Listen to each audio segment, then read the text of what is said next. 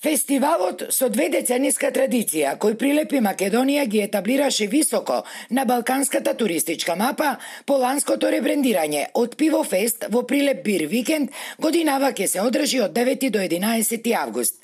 Организацијата на оваа популарна фешта на пивото и скарата, која своите срамежливи почетоци ги имаше во далечната 2002 година со само две годишен прекин заради пандемијата и годинава му е доверена на минатогодишниот организатор, продукцијата Event Group од Скопје. Одстапувањето од вообичајниот датум на одржување на фестивалот, а кој со години беше првиот викенд после Петровден, според градоначалникот на Прилеп, не би требало негативно да да се одрази на очекуваната посетеност.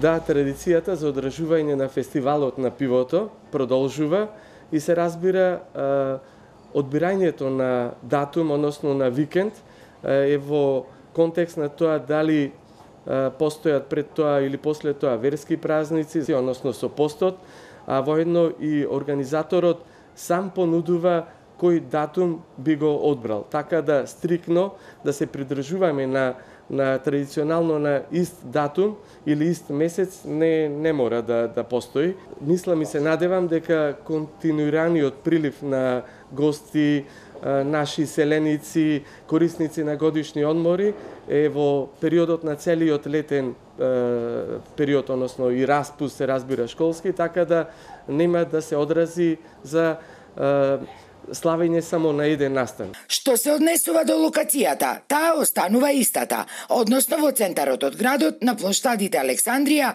и Методи Андонов Ченто. Површината предвидена за поставување на штандовите изнесува 3811 метри квадратни. Ке бидат обезбедени и повеќе паркинзи, а работното време на чаршијата и угостителските објекти во трите фестивалски дена ке биде продолжено за два часа. Организаторите пак најавуваат најавуваат богата и ексклузивна музичка програма, која наскоро ќе бидела и објавена.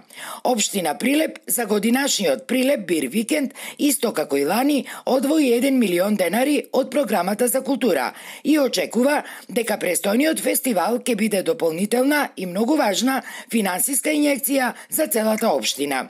Ветуваат успешно фестивалско издание согласно очекувањата и на посетителите, но и на учесниците, музичарите, пиварниците патниците, угостителите, како и воопшто на чаршијата, како во поглед на безбедноста, така и на хигиената, паркирањето и сместувањето.